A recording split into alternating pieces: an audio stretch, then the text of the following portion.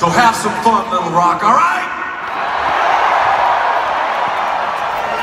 All right, Little Rock, we got a, a couple of punk bands, local bands from uh, the late 80s and 90s, and a little mashup with a little Metallica at the end. I hope you enjoy this because uh, we worked this one out pretty good. We're stoked on it.